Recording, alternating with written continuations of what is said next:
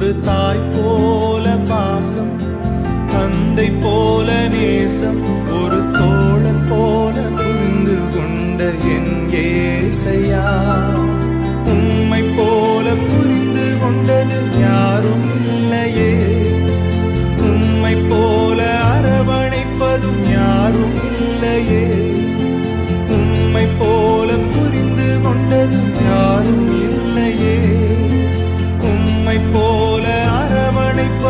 யாரும் இல்லையே.